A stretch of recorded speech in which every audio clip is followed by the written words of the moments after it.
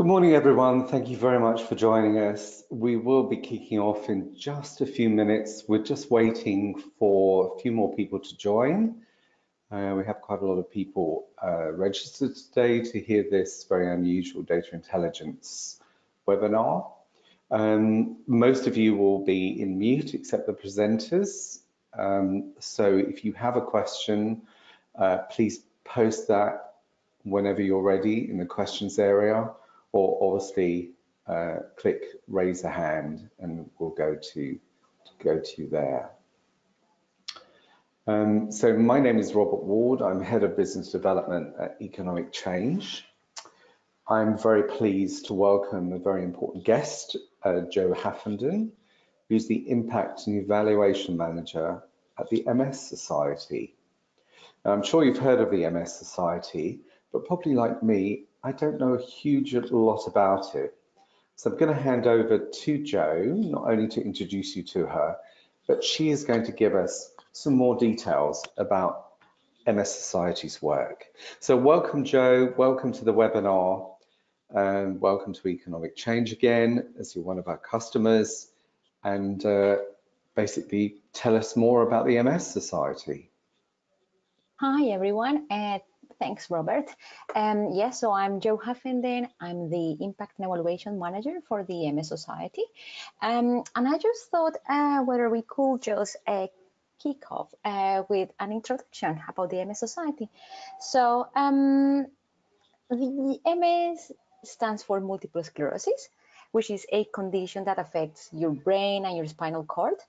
And in MS, the quoting of the of that protects the nerves and the myelin is damaged. And this causes a range of symptoms like blurred vision and problems with how you move, think, and feel. So the MS Society is a charity that um, started to operate in the 1950s, and we operate in the whole UK. So we have offices in Scotland, Northern Ireland, England, and Wales. And our vision is a world free of the effects of MS. And in order to achieve our vision and most of our work we do, amongst the work we do, we also offer a variety of services to help people affected by MS. And it's in this context, I'm going to share with you all about impact management through the development and adoption of Salesforce. When, um, so when you develop a system, to aid you to manage your organization and services. This system is a representation of your business model. So that's why it's, I'm going to explain firstly about the service delivery model and secondly, its aims and thirdly, within that, how we measure impact. Um, so I'm going to take you through um, one of the projects where we adopted Salesforce. Um, so about the service delivery model, we developed Salesforce for a service called Active Together. And within the service aims to encourage people with MS to become more physically active or to sustain levels of physical activity. So within that, we provide the we provided a service remotely remotely so it means that we use the helpline to provide the service. So it wasn't a face-to-face. And so people registered to the service via our main website and internally through the helpline. And then our physical activity specialists developed individual action plans people have then the opportunity to set up their own goals and activities. And this is, is a, because it's a remote service, we use also motivational interviewing and it's a person-centered approach for people to set up their own goals and activities. This should help us and should help the participants to adopt sustainable behavior change around physical activity. And this all gets recorded in Salesforce. It's important here to say that this service is to be provided within people that it's based in, in England. So the second um, strand I wanted to touch on, it's about the aims of the service. So as I was sharing earlier on, the service is about increasing and maintaining the levels of physical activity. This means that we have to measure this. We ask participants to report to us how much physical activity they did within the last week. Similarly, we also wanted to know the impact of physical activity in both emotional well-being as well as individuals' development. Um, and on the one hand, um, we know because the evidence suggests that people who does exercise tends to report healthier levels of emotional well-being. So we wanted to capture that. Mm -hmm. So, um, and, and, also on the other hand, um, our service delivery model is built on person as a person-centered approach. So we wanted to know about the service impact on the individual development of the participants. Right. For example, developing their knowledge skills and confidence and setting up their own goals and having the opportunities to practice these new skills. So we hope that this is going to lead to a sustained behavior change around physical activity, long lasting change. So for this, we then uh, measure and capture um, data at four different points. And when obviously when participants arrives, which is when it, before they access the service, and this then becomes the data we use as a baseline. Then we capture data at three, six, 12 months later to measure the impact, the distance travel by the participants. And and um, this again, this gets recorded to, you know, in, in Salesforce. And this leads me also to my last component, impact. In addition to what we also we, we also collect data that help us managing the rela managing the relationship with the participants and the benefit or the beneficiaries. And for example, we collect data on whether the participant is a wheelchair user, um, and this data is then used to shape the intervention. This is this is very important. And we also collect data around the individual action plans that the physical activity specialists develop on a one-to-one -one basis. Mm -hmm. After all, it's because it's a, a participant-focused service, so you need to make sure that you record this in your database.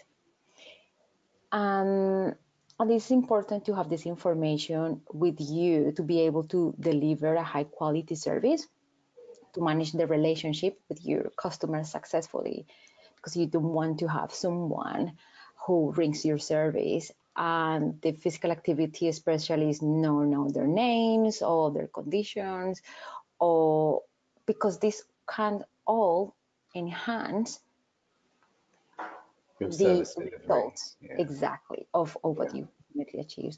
And we also collect data on demographics such as ethnicity or mm -hmm. Type of MS, length since diagnosis, comorbidity, because some of the some of this data need to be considered to shape the intervention at the individual need based on the individual needs and perhaps to help us to flag levels of vulnerability Sure, that's good, isn't it? Mm. Absolutely, and also because this is a pilot service, I knew that we needed to have robust data, evidence to be able to understand whether the service works mm-hmm. and whether it doesn't work, and if so, what are these active components, right?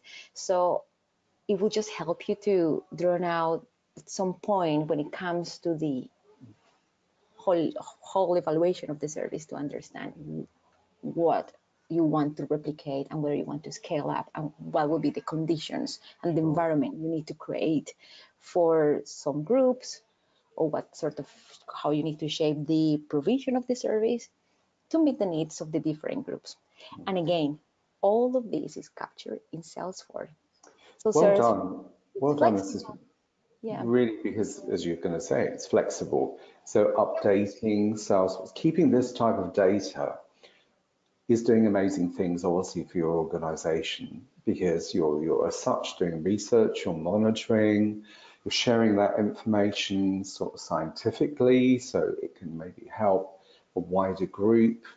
So that's fantastic. It's really a great way of showing that, you know, just by capturing data in your system in a very easy way, you can measure your impact so much more effectively. So great job.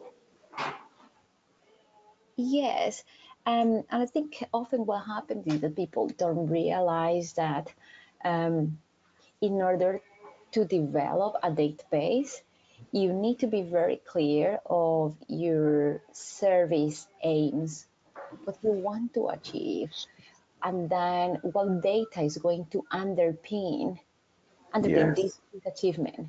And yeah. all that ultimately is going to be the base of the configuration, the customization of your database.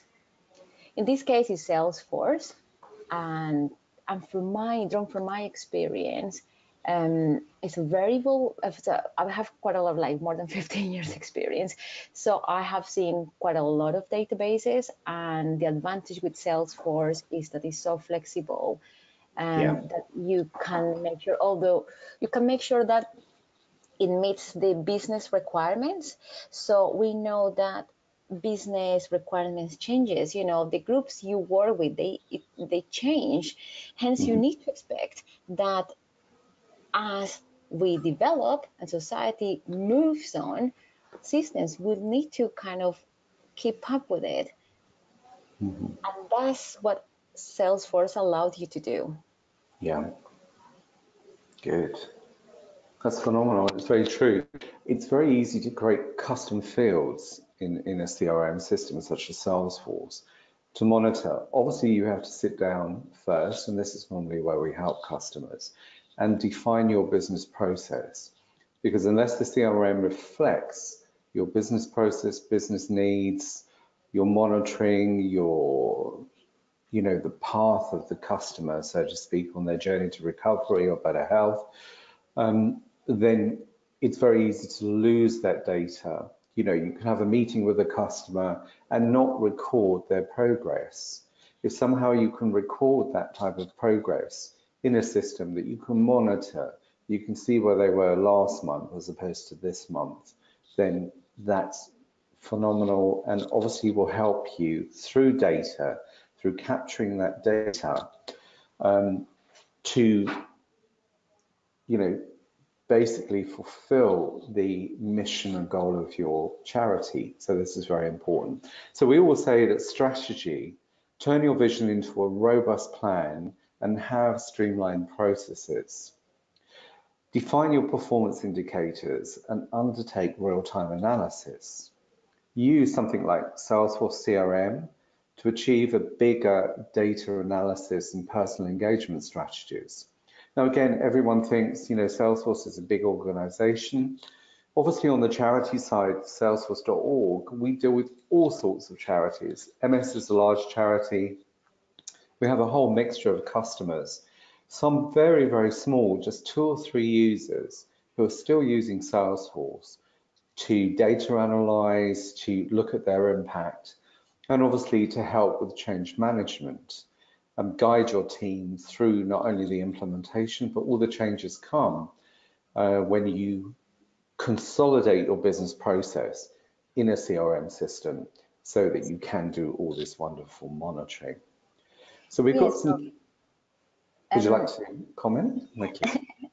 Thanks. I was just going to say, you are absolutely right. And also to be able to gather all your requirements, you need to make sure that you use principles of such of like collaboration. So where you are then able to gather from all the different teams and the people are going to be involved in the project, delivering the project, because they all will contribute some additional yes, insights. That's a very good point. Um, so yes, it's key, and it's also key in order for this to work, to work with your teams. Mm -hmm to understand what are the processes underlying this delivery mm-hmm. That's very good because sometimes, you know, when we start collaborating with a client on tell, tell me your business process, you know, tell me your pain points. Let's see if we can resolve those. Sometimes you need to throw out a really wide net. You want to capture everything possible and then keep looking at it, refining it. Do we need this? No, we don't want to make this an industry. We want to keep focused on, on what we need. How do we measure that impact? And as you see on the screen, there's some ideas here of, you know, the things that you need to look at, which this obviously will be shared with you afterwards, you know, improve stakeholder engagement. So it's everyone involved in the process. You can use online surveys. You can use some of the tools within Salesforce, like Chatter and communities, to actually go out to your constituents, to your patients, and, and basically talk to them. So really what we want from this is improved business intelligence. Behind Salesforce CRM, you also have machine learning, or what's called artificial intelligence, which is branded in Salesforce as Einstein Analytics. Here you can use other metrics to measure and predict. So you could say, in your case, Jo, adding Einstein as the next stage in your development, depending on all the factors that you brought in about the patient, you could then have what is the propensity to get to the next stage? What percentages of that? In other words, if everyone's doing their exercises, if everyone's doing everything you've told, the score would probably be good. It might say this person is just 80% away from achieving the goal that you've originally set. And what's really helpful about this type of analytics is it's happening in the background. You set it up once, you set the parameters, and then you can look at your whole patient list and see who is failing and perhaps reach out and give them additional support. So that's so important and so, so very helpful. So there are just a few points. Jo, I'd like to go back to asking you some questions. Obviously, you know, you've been on this, you, you've done it, you're working on it.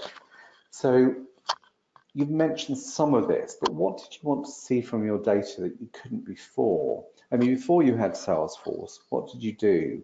Uh, was it measured somewhere else in spreadsheets or? Um, yeah, so, um, well, it's a, it's a new project. Mm -hmm. um, so we did have the opportunity to start from scratch from fresh, so to speak. Yes. which, which is which is great because it means that all the learnings, all the experiences you have gathered from other projects, they came into play here, and then you have the opportunity to use all these learnings. Wow. Um, so so when um, we we created a, a dashboard that could tell a story and inform the team and the organization what was happening in the service. And perhaps that wasn't available for others, for other mm-hmm. services. And, and there were two main reasons for this. So we wanted to be able to provide a high level, an overview of what is happening in the service and, and on the other hand, linked to this, whether the project is delivering against its targets where the project is on track. Okay. So we develop a dashboard under the principles of prioritization of what we measure, mm-hmm. and similarly under the principle of which data needed to be usable and actionable, mm-hmm. so that the service is an insight-led service. Yeah. Okay. That's perfect. That's really good. I'm just going to share. I'm just going to um, go out of my screen, I'm just going to share a dashboard, a typical dashboard. Um, I won't do the one on funding, but for instance, I'll give you an idea here of a dashboard. Um, so we've taken the data that lives in Salesforce that we gathered. This one is asylum claims by country. So total number of asylum claims 1.3 million. Now we've split this over various countries to see, and also I get the ability to hover. I can see the figures here anyway. Um, it's given me a map to show immediately where this is happening. You know, what, what are the main points? So obviously Germany, as we know, has taken many uh, refugees and, and asylums. So we can see the countries primarily Sweden and Germany, which we know as a fact have taken in. But perhaps we want to drill down. Uh, we want to see then the homelessness of these various people over there in these various countries. And we want to look down in drill down into more data to basically see the number of claims per country, etc., uh, percentage homeless going on, and we can see this in many different ways. So this is giving us, for this instance, a top level view or something, and also adding geographical data if you need that. Um, you can visualize this in, in so many different ways. I mean, this is one on funding. So many, many charities, obviously a big function is fundraising. So that's again very important. This obviously is a big organization. It has 167 million. Um, you know, as far as I'm concerned, funding, whether you're a small charity or a large charity, is equal in the sense that if you deliver your service, deliver your program, you need funds. But we can analyze this and we can see what's happened over the last years. We can see government funding versus our own funding funding by government sources, uh, homes sold, an average funding home, etc. So we can break down this information and get a top level view. If you're basically trying to do this in a spreadsheet, major hard work. Um, so visualizing that data is so, so important and really helps you keep very much on target, allows you to fulfill the things you need, essentially. Yes, Jo.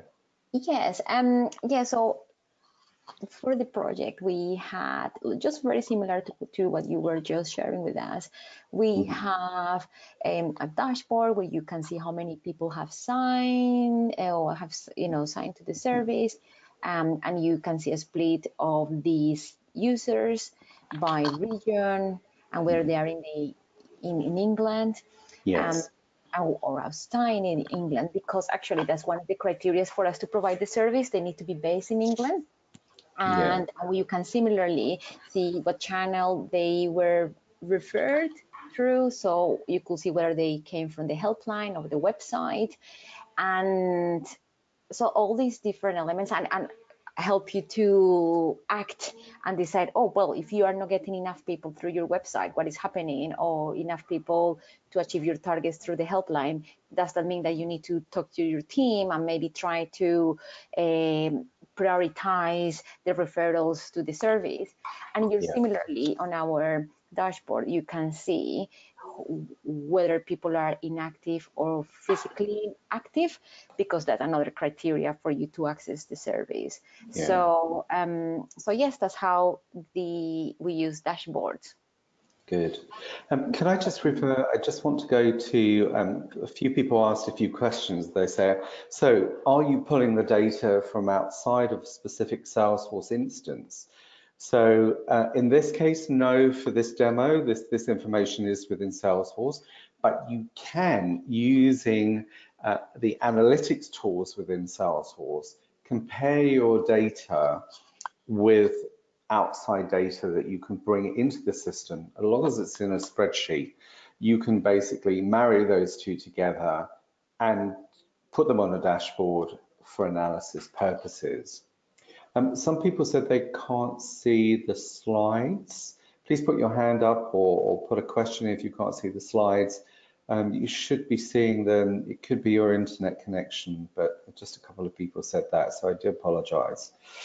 So yes, data can be brought into Salesforce um, very, very easily for analysis purposes if it doesn't live in Salesforce and you want to, for instance, you're doing a mosaic, you're looking at your marketing, and you want to see the mosaic value of, of customers, which is like a grading, social grading, you could pull all your customers from Salesforce into a, into a dashboard, pull that information exteriorly from a mosaic list and compare them. So you'll really then see, you know, your demographia at a much clearer level.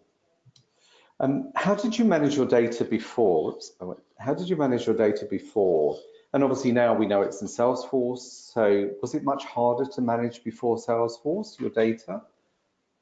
Um, yeah, so um, it's, it is a new service. So for the MS Society, it's an opportunity to pilot, which means it's an opportunity to learn about the adoption of a system that provides a case management functionality.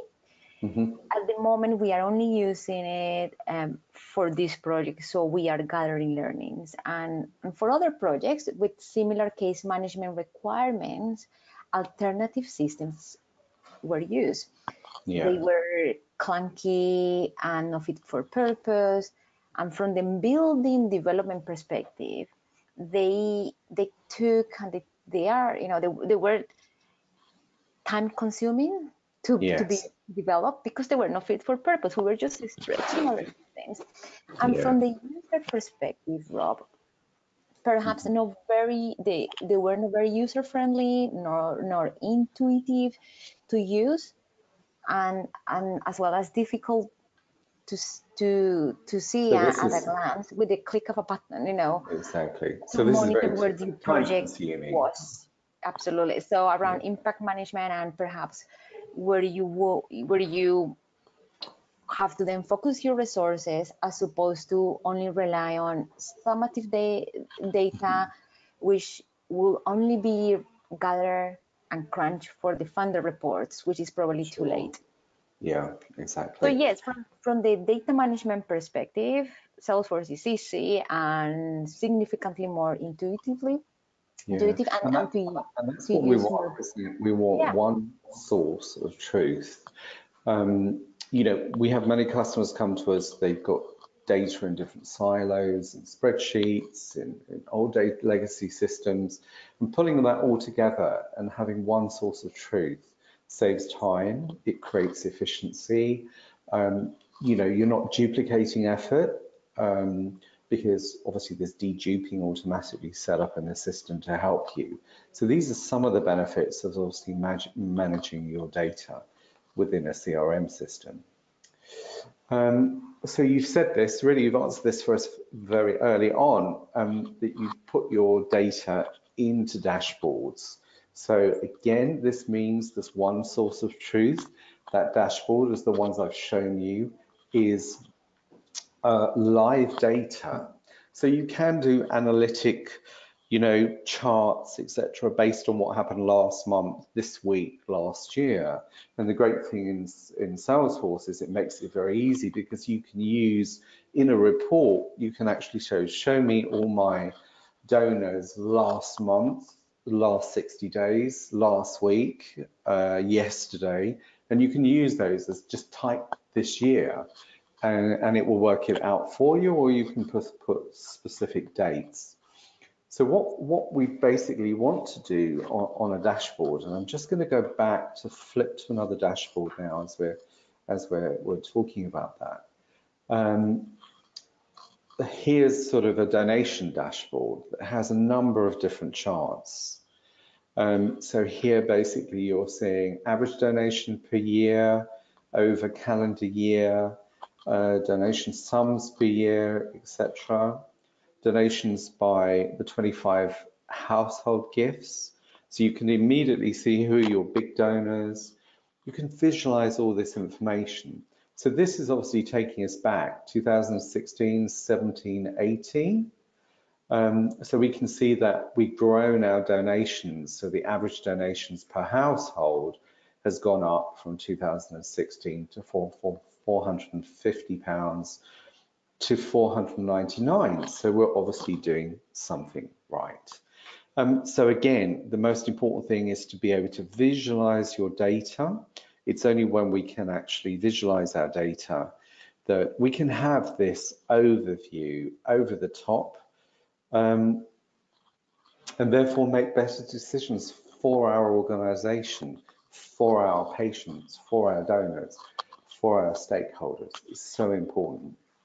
So really, in summary, what would you say that data has done for your organization? It's obviously from what you've told us, done amazing things. I mean, MS is, is something that's affecting more and more people today.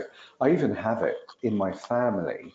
Um, so, um, you know, I know the disabilities that this can bring for people And it's so great that you're doing this to really, you know, monitor what's going on with people and help them. So what's the main, what's the big difference? Is it that visibility? Is that what's the, you know, the overall winner of all of this effort? Um, I think it's great that, for example, you can segment your reports and then you can, for example, provide information to the relevant group to the specific stakeholders.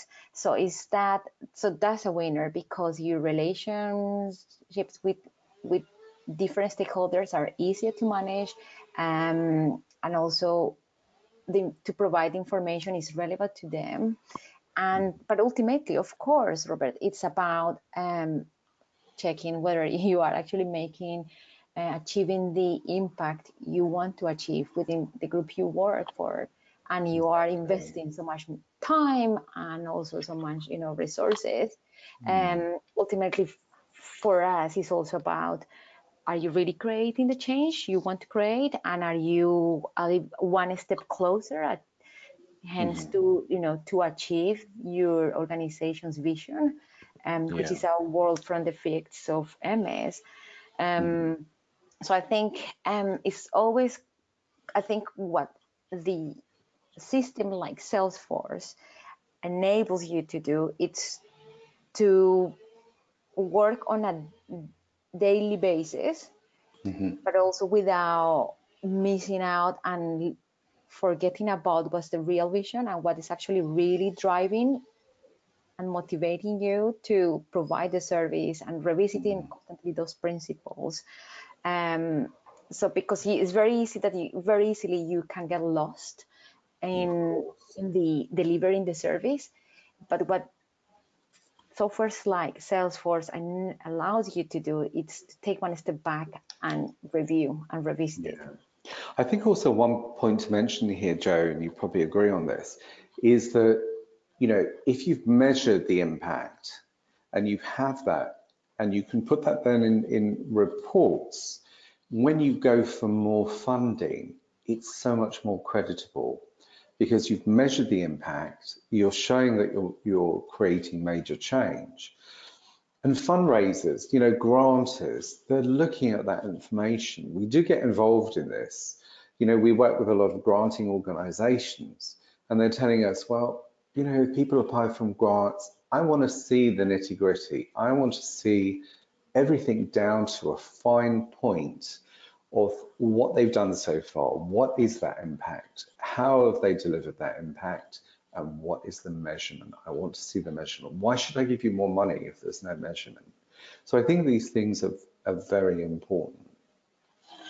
And ultimately, if you can um, present the evidence that your service is making or it's not, mm-hmm. I, mean, I think it's important to take it as a part of your learnings yes. and there is no failure. Um, I think as long as you have a system that is transparent and comply with some core principles, there is no reason to be scared or just I think it's important to run a service in an honest way and systems like this enable you to apply these sort of principles and when you have that transparency and you mm-hmm. have the evidence you can also go back to other funders and say, look, we have this data, perhaps it didn't help us to achieve what we wanted or the way we wanted, but we we achieved something else, or we or you could also say, it actually, look, we achieved what we wanted to achieve,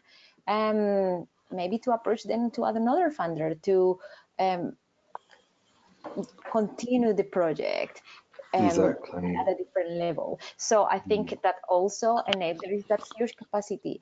Within our project, we also have a external external stakeholders mm-hmm. because mm-hmm. we do have we externally commission the evaluation of the project.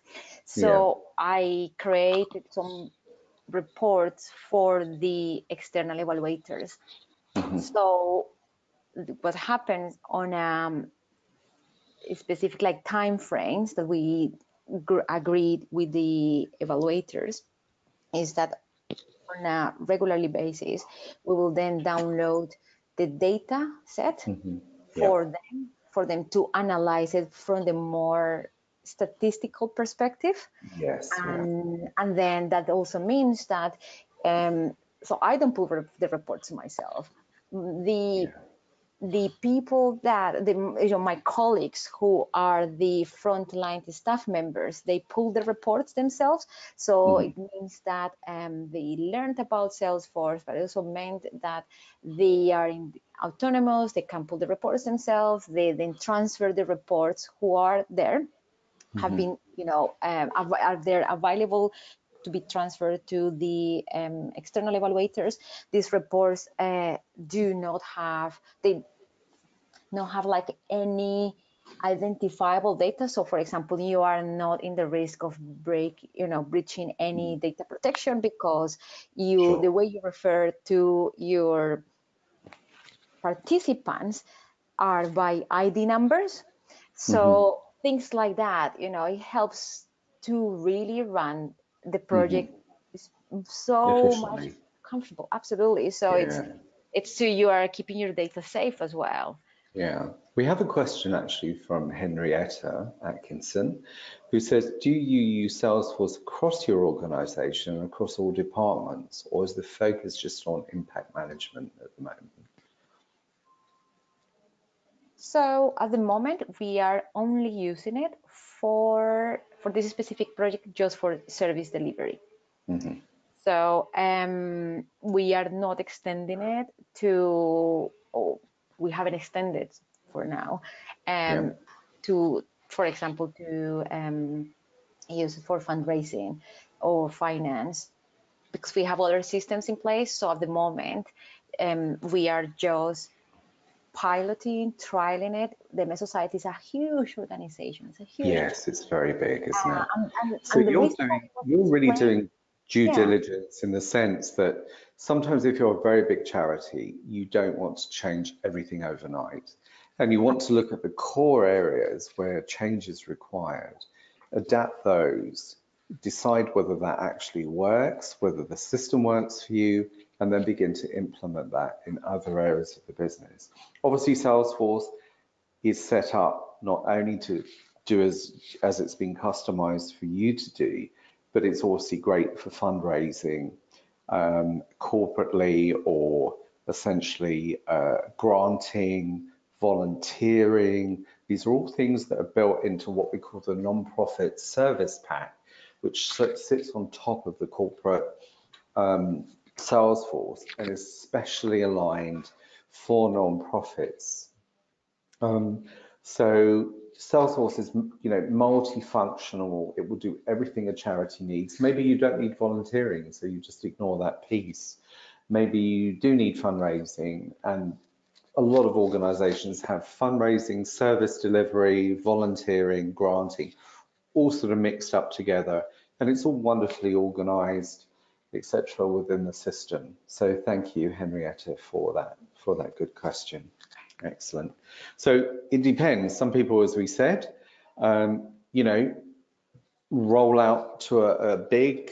If you're a very big organization, that's a huge task. So if you can sort of have bite-sized chunks, prove whether it works for you, and then move on. This is it's often a very good strategy. So before we before we close, there's a few other things I'd like to tell you, but please post any more questions um, because we'd like to say what it, what sort of are your next steps um, for you as people considering perhaps Salesforce, looking at your impact management. So just here, there's a few sort of giveaways. You know, you're going to have better customer intelligence you will have reports and dashboards. Under a dashboard sits a report, which is the collection of data. They're so easy and intuitive to pull that you don't need a lot of training. It's very intuitive and in the majority common sense. Um, you can monitor the distance that you've traveled in doing this, you know, undertaking better data analysis, reviewing your customer satisfaction. Um, Salesforce have a, a, a survey tool now that's built into NPSP, so you can do that as part of your impact management as well. So that's really worth looking at if you haven't got that already. And of course, external data capture, you can bring in information from your website into Salesforce that saves you having to enter it yourself. So that sort of puts the CRM on steroids where it's doing a lot more work for you, etc. So they would really, really essentially be your next steps. So really, we're sort of we offer support and training. Uh, obviously, one-to-one consults do support, and we have the discount charity discount package for supermoms. This kicks off in August, so you have to have signed up for our small uh, charity discount package um, by the middle of August, and that gives you uh, 48 hours pro bono um, uh, consultancy. So if you're building a system from scratch, this will allow you to to do this. You know, a normal Im implementation is more than fine for six days. It's better when you have a lot more time, so this can be done more efficiently, um, and you have two or three people working on your implementation. If you just want some help, then obviously we do, you know, booking out a power hour with one of our CRM coaching consultants. Or you can join our Salesforce charity admin course if you feel you don't know enough about the system that you're running and you need some help. Then we run these courses. They're running every couple of months and they cover the admin essentials and the non-profit service pack. Um, so that's all there at your uh, fingertips. We offer obviously offer support packages for all our customers. So we've heard from Jo, and Jo, thank you so much for for being our guest speaker today. It was quite enlightening to hear what you've done. Well done, such important work. Previously, we had Justice and Care uh, speaking, and on Monday we have the Trailblazers organization, which is about volunteering. So if you're if you're in this webinar, you've probably received an email about the fourth the up and coming webinars. The next one is on Monday, three o'clock in the afternoon. Um, it's from Trailblazers, uh, which basically help convicts, I think, back into work, if I'm not mistaken, um, monitoring young offenders. And they are going to be talking about volunteering. So again, we can use Salesforce for volunteering. Uh, I believe we have some more questions here. Um, would you recommend? Oh, this person asked, this is Graham Dawson. Uh, which Salesforce products besides iStone were you using? Did you adapt Service Cloud for this program? I think that's one for you, Jo. Were you using the service? You were using Cases, weren't you, which is in the Service Cloud? Um, yes, we were using um, Salesforce as a case management um, okay. To, to record yes. the to manage the relationship with the um, with the users. So mm -hmm. because this was um, is a remote service that is delivered through the phone, mm -hmm. means that the calls that the physical activity specialist make they they get locked for example and yes. conversations that they have so that when the physical activity specialist um, then talks to that person a month later or a week later he can then visit the notes and then encourage them motivationally ask them what has happened since so i think it's it's very much been around from the individual center approach um, mm-hmm. because that's the service delivery model of the project. Yeah. Having said that, I have worked in other organizations where we have had Salesforce, where we, you know, where I also um, was part of the leading and rolling up and building of the development of Salesforce, and they use it for something else. So, for example, they use it for where they integrated finance and they will do the reconciliations of of the risk these reports to then mm-hmm. make sure that their finances and the disperse of the money was um, tallying. um, Okay. in all the different systems. So, so I think that's I think that's a great thing about Salesforce that you can use it for different um, areas. Yeah, great. Thank you very much. So yeah, I think in, pro, in, in Process Service Cloud is like uh, cases, or sometimes in IT world it's called tickets. So you can monitor, you can connect cases to your website. So if you're delivering a service like Jo in her organization, maybe you want a patient or a customer, whatever you want to call them, to interact with you, they can fill out a form that automatically creates a case because they're recognized by a unique identifier like their email address. And this automatically then routes it to your appropriate department. Um, and then the case gets solved. It goes through various stages of perhaps in progress, closed, resolved, whatever. So it's a great way of monitoring information from third parties. Um, it's already built into the Salesforce platform. You have web to case, so do go and uh, search that web to case. Um, so this is just a piece of code that goes on your website, but it automatically creates a case. If it recognizes the email address of the person as a contact or lead in your uh, in your um, organization, it will it will uh, you know link the case automatically. It'll put the case under that person. There are other packages I've just put in the type area. Um, there is another package where you can build dynamic forms called FormAssembly.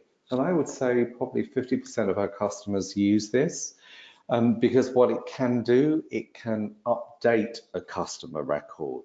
So web to case can't, it can only create a case, but say you want to send out something or you want to send out a survey uh, other than Salesforce built-in survey, you want to send out a small questionnaire, um, but you also want to capture more information about uh, the person or the stakeholder. You can add other fields and those fields automatically update Salesforce. The, remember there are discounts um, in the majority for non-profits or if you are a community interest company, we are a community interest company um, and we want to be because we want to work with charities. So CICs, as we're called, or registered charities get the free do donation of licenses, which is 10 free licenses, which is worth about 12, 15,000 pounds. It's called P10, power of 10, uh, that is given by Salesforce. And then accordingly, you can add more licenses and they range from 36 pounds upwards per license per year. Um, so it really depends on your need uh, or what you need. Um, but really that sort of wraps up our webinar today. Thank you very much for interacting for those that left questions, uh, which is really wonderful. And I just hand back to Jo. Jo, thank you so much for such an enlightening story. It's amazing. I'll just leave you to say the last few words. Oh, thank you. Um, well, I just want to make a call to encourage organizations and services to to make business and strategic decision for your organizations and services to develop and adopt appropriate systems to manage your data and customer relationship. Like when when you have the systems and with this i mean both like software and processes that fit are fit for purpose you can rely on your data to understand and measure the effectiveness and efficiency of your organization and service so systems are key um, enablers in helping mm-hmm. your organization to achieve your vision so to, to remember that. Um, and with the, with that, um, I'm gonna go um, my last line with, with, with, a punch. And if, if, if you punch in line, so if and if you want to know a bit more about the worldwide worldwide uh, trend and a bit more about the Society, I invite you to read my latest blog um, called "The Age of Visual Measurement: Digital mm -hmm. Dashboards." which is on economic on the economic change website. Yes, excellent. I'll share that with everyone. Thank you so much. Um, thank you, Jo. That that was very enlightening. guys, impact is so important, measuring your having data intelligence so you can measure your impact. I can't stress how important that is, whether it's for volunteering, granting, service delivery, so, so important. So if you need to speak to us about that, we can help you in any way. You certainly have our details. Please do get in touch. And if you can, join us on Monday for our Trailblazers uh, volunteering webinar. It would be great to see you in that. And again, thank you, Jo, very much for joining us and enjoy your weekend. Thank you very much, guys. Take Thank you. care. Bye. Bye-bye. Bye-bye, Jo. Thank you.